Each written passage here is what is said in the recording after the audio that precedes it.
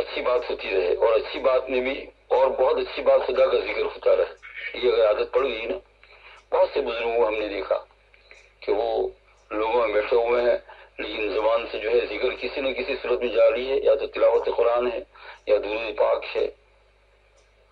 استغفر اللہ ہے، جو بھی کچھ ہے، چلتا ہی رہتا ہے۔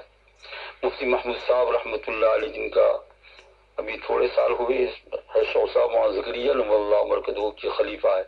یہاں تشریف لائے ہیں، تو میں بھی ان کے ساتھ یعنی اٹھا بیٹھا ان کے سامنے۔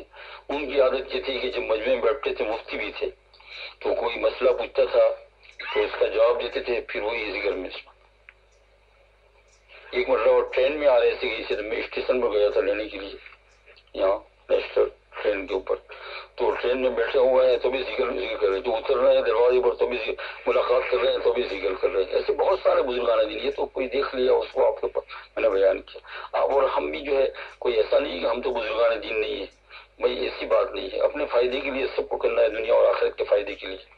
تو بہترین کلام یہ ہے کہ زبان سے اللہ جل شاہ کا نام کسی نہ کسی صورت میں چلتا رہے۔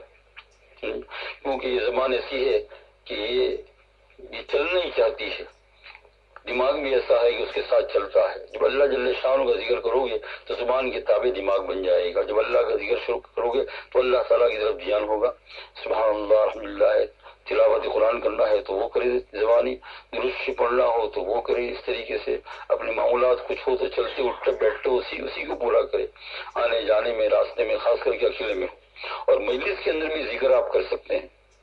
کوئی اگر آپ کو جو ہے ریاکار کہے تو کہنے تو جب ریاکار نہیں ہے تو پھر کچھ نہیں ہے۔ حدیث پاک میں آتا ہے، اس کا مفہوم یہ ہے کہ اتنا ذکر کرو کرو کہ لوگ تمہیں مجنون کہے۔ کیا کہے؟ پاگل کہے، دیوانہ کہے۔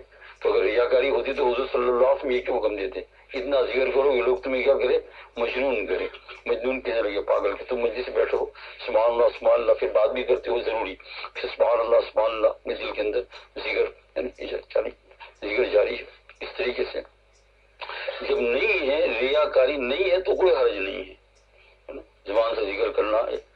اور یہ انشاءاللہ اگر شروع شروع میں کبھی کچھ دل میں وسوسہ بھی آئے ریاکاری کا، تو آہستہ آہستہ مٹ جائے گا۔ عبادت پڑ جائے گی نا، تو مٹ جائے گا۔